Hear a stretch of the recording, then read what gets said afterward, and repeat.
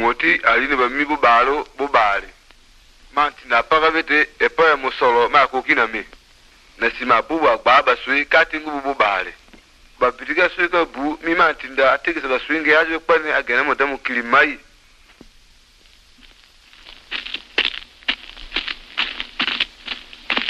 ko ambibisa musolo mu nge mpona bakua apambapamba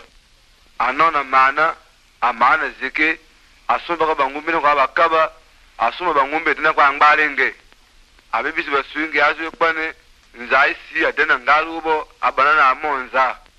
ageale awuwa nengiwa mutu muti na ngalusobo muti emo antekele pango bitu yisi bangwebu nge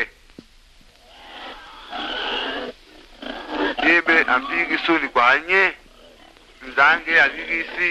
abagitaye bakase bangwebaya mutu mutu kampigitumidaye ntango akanisiki alima aleki abanza bete basali babe ndi baya basuli nzanza mpe mene na kua nzawane na sira ambula na mbala abomo na mpaka bete nazia lisumu na mbaa nzambe naza na mbaa onga nakukigo to naliemi monga epa meso ye moti naligi be nsali monga adonga aluo bo agera na mbala abe ŋgbele aligi ka maiko abe menekiki ahõ mawua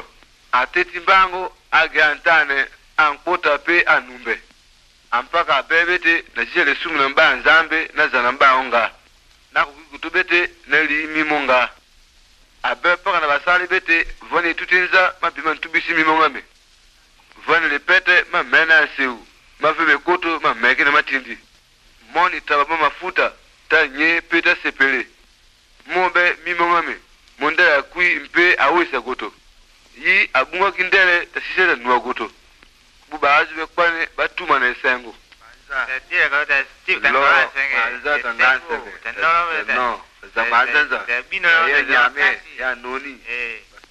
yesu apange sesele gobe na agole nzambe e baale busu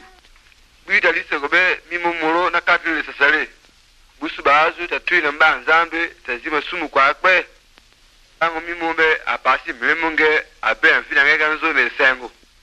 pogo bondio nzambe mundu lagusu te batu masumu tapasi meme na binge atata zapu masumu nzambe pene baale busu na kwa ye iya ntisi yesu kristo bete wosi busu yesu akugwegula kulusu na kwa ata afi masumu ngosu na mbalunge kwa muti iya li tumbu na kwa ngusu pita lude tumbu ndingi iyo akukupita dema sumu tapasi mino mgbụsụ na mbayi su na kwayi muhosi okupita ndiki iyi ntango asu kucitagina su ya buku tadeka nzambi guno akukupita mwe mauwa na kwa masumu ngusu akukupita dilekina nzambi mingbe na ndiki anyị. o nzambi mimutu masumu na mbula su na kwa kuno kwa masumu ngami na komisa pesi masumu gbewane nokungola we miti limbisimi nelimi munga na lino Yesu Kristo. Amen.